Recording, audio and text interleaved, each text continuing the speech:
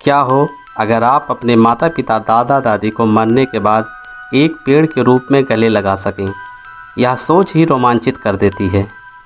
ऐसा ही एक आइडिया काफ़ी वायरल हो रहा है, जिसमें मरे हुए इंसानों को ताबूत में दफनाने या जलाने की जगह एक पेड़ बनाने की बात हो रही है। इस आइडिया का नाम है कैप्सूला मंडी। कैप्सूला मुंडी एक बायोप्लास्टिक का खोल, यानी ताबूत होता है। इस ताबूत को मिट्टी के अंदर दफनाया जा सकता है। हालाँकि यह ताबूत सामान्य ताबूत की तरह मिट्टी में तब्दील होने में दशकों का समय नहीं लेता, बल्कि कुछ ही महीने के अंदर यह ताबूत मिट्टी में बदल जाता है और सौ भी डिकम्पोज होने लगते हैं। साथ ही इस ऑर्गेनिक ताबूत के साथ एक पेड़ या बीज को भी लगाया जाता है, जिससे कि वह आपको मरने के बाद पेड़ में तब्दील कर दे। जिस तरह मरने के बाद शरीर को ताबूत में रखकर दफनाया जाता है वैसे ही ऑर्गेनिक ताबूत में मृत शरीर को रखकर उसमें पेड़ उगाने का प्रोसेस किया जाता है। सौ के डिकम्पोज होने के बाद निकलने वाले खनिज पदार्थ से नए पेड़ को बढ़ने के लिए ऊर्जा और पोषण मिलता है। शवों को दफनाने या जलाने से होने वाले प्रदूषण को कम करने के लिए इटालियन डिज़ाइनर राउल बेटजेल और एना सिटेली ने यह आइडिया विकसित किया है। कैप्सूला मुंडी काफ़ी इको फ्रेंडली है। ना ही इन्हें बनाने में ढेर सारी एनर्जी वेस्ट होती है और ना ही यह डिकम्पोज होने में ज़्यादा समय लेते हैं।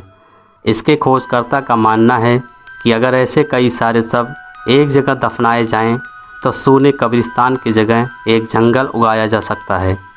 इससे पर्यावरण और हरा भरा हो सकता है। साथ ही साथ लोग अपने परिजनों को एक पेड़ के रूप में गले लगा सकेंगे और उनकी छाँव में बैठकर समय बिता सकेंगे।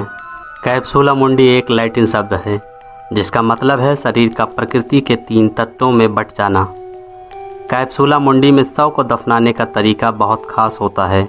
इसमें शव को सीधे ना रखकर उसे ऑर्गेनिक पॉड में बिल्कुल उसी प्रकार रखा जाता है, जैसे गर्भ में शिशु होता है।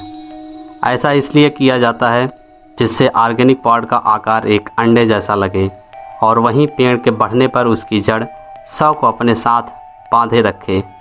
जब तक वह पूरी तरह डिकम्पोज ना हो जाए। इस प्रोजेक्ट को कानूनी रूप से मान्यता मिलती है या नहीं, इस पर भी सवाल है, क्योंकि ज़्यादातर देशों में शव को दफनाने या जलाने के संबंध में कई तरह की धारणाएँ हैं। ऐसे में अमेरिका और कनाडा जैसे देशों में इस तरह के प्रोजेक्ट को मंजूरी मिलने में दिक्कत नहीं होगी, लेकिन इटली और भारत जैसे पारंपरिक देश में इसे कानूनी मान्यता मिलना मुश्किल है। हालाँकि इटली में इस प्रोजेक्ट से जुड़े लोगों ने सिग्नेचर कैंपेन शुरू कर दिया है। तो वहीं सांस्कृतिक और धार्मिक दीवारों को तोड़कर इस प्रोजेक्ट को भारत जैसे देशों में आने में काफ़ी समय लग सकता है।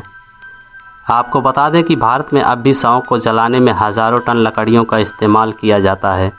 वैसे आप लोगों को क्या लगता है कि शवों को इस तरह दफनाना सही है या गलत? हमें कमेंट बॉक्स में ज़रूर बताएँ।